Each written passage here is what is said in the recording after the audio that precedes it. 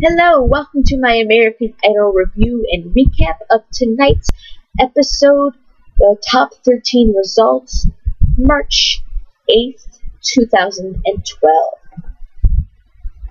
Alright, so it starts off, we have a group number, and all of the finalists sang Stevie Wonder's As. This was okay. I mean, it was a little smooth little song, you know kind of mid mid tempo ish kind of song. It was okay. Not the best group performance I've ever seen, but definitely not the worst. After that, they had the Ford music video, which, if you know me, I love the Ford music videos. They're so much fun. Um, this week's Ford music video was Peter Gabriel's Big Time, and um, the whole purpose of the music video was that all the idol contestants they're now big in Hollywood, and they're like big, huge giants, and they're walking around Hollywood. Pretty cool. Okay, so now down to the results. First up, Elise, Holly, and Jessica take the stage. Holly and Jessica are safe, of course, and Elise is in the bottom three girls. After that, Heejun, Jermaine, and Colton take the stage. Heejun and Colton are safe, and Jermaine is in the bottom three good. I'm not a fan of Jermaine, so I'm okay with that.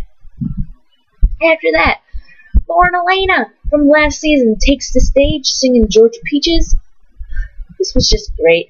Um, I love the song Georgia Peaches. It's such a good country song to rock out to. It it was it was so awesome. Um, I love the song. Um, I wasn't really a big fan of Lauren Alaina while her while her run on Idol, but now that Idol's all done for their season. I like her a lot more now. I actually very much like her album. I actually did buy it. It is very good. It is very good, you know, girly kind of country album, and I very much enjoy it. Um, she was great working the stage. You could tell she was having a blast. She was so happy to be back. Um, she, you know, went up to the judges, did a little thing with them, went to the contestants, interacted with the contestants. Um, at one point, she accidentally let go of her earpiece. I don't know what happened there, but um, I don't know. But yeah, she was great, fantastic, loved it. Okay, down to more results.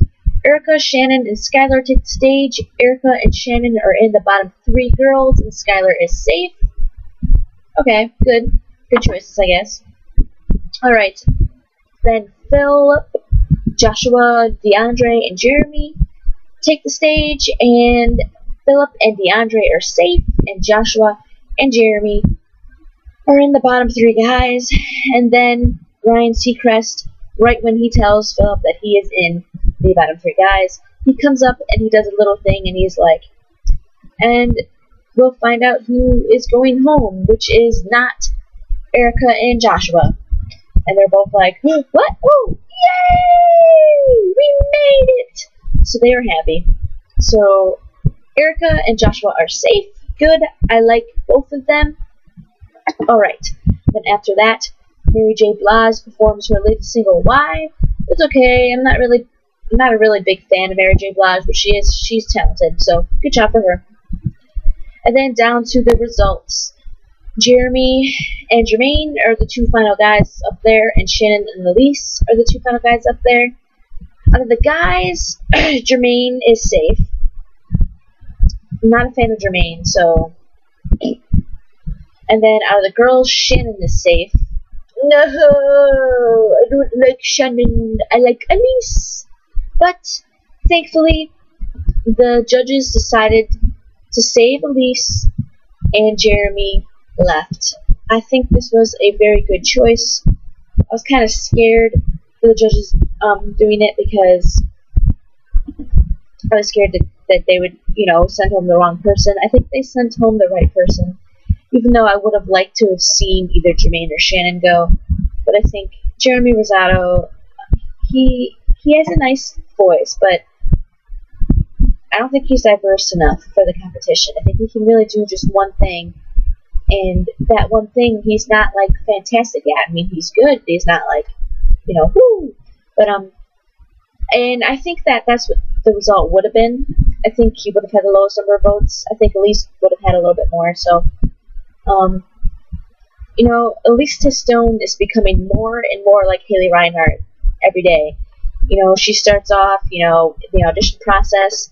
She's given a really, really bad edit. You know, they don't show her that much, and um, the she, you know, gets screwed over by the producers by you know having to sing a song that she's not comfortable with, which is something Haley went through a lot during her run on Idol. And you know, Haley, she was in the bottom a lot and still ended up getting to the top three because she just was blowing performances out of the water in order to keep herself there. So, you know, I think Elise, you know, right now she's struggling, but I definitely think that she she could, you know, get up there. Um, everyone else that is I'm happy, you know, Jessica, I love her. Holly, she's very solid. I love Skylar Laine. Um, Heejun, you know, he's hilarious. So, you know, uh, I think this was a very good, solid choice of sending home Jeremy Rosado. Um, yeah, so th that's pretty much it. Alright, thanks for watching, guys. Um, follow me on Twitter at ScottyHaleyFan. I live tweet during Idol. Join me, I'd love to know what you guys think. Comment down there, tell me who you liked, sub up there, and right over there. Thank you.